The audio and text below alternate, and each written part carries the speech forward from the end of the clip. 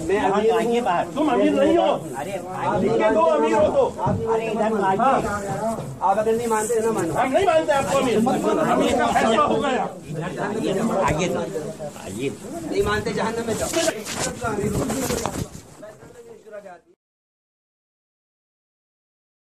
تو یہ ہے کہ انہوں نے بدون کسی کے مشورے کے دعوی عمارت کر دیا۔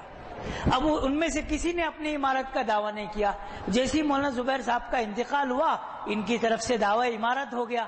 اب علماء کہنے لگے کہ جس کا مشورہ ہی نہیں ہوا ہمارے بڑوں کا معمول تھا کہ یا تو نظام الدین میں سب عالم کے اکابرین کی موجودگی میں مشورہ کرتے تھے یا رائے ون میں مشورہ کرتے تھے یا ککریل میں مشورہ کرتے تھے بنگلہ دیش کے مرکز کسی کی عمارت نہیں چلے گی۔ کسی کی عمارت نہیں چلے گی۔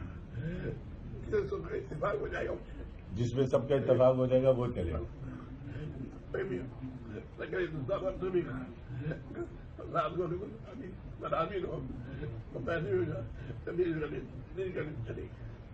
کل نظام الدین والے آئے تھے ایسا نے کہا میں نے ان سے بھی کہا کہ اگر ساتھ کے جی میں یہ بات ہے کہ میں امیر ہوں میں بڑا ہو جاؤں اور سارے لوگ بھی اس سے بیت ہو جائیں تو بھی گاڑی نہیں چلے گی۔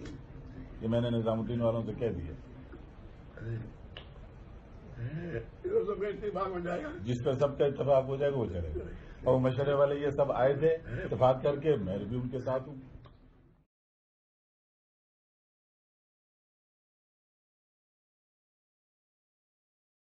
امت ہمارے زمانے میں بھی امت بکھری ہوئی ہے ٹوٹی ہوئی ہے اور ہزار تقسیمیں امت میں ہو چکی ہیں۔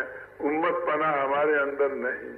اب ابو بکر صدیق رضی اللہ تعالیٰ عنہ جس طرح سے کام کو لے کر چلے، اس میں فرماتے تھے کہ ایک بات ابو بکر میں یہ تھی کہ ان میں اپنے امیر بننے کا جذبہ نہیں تھا۔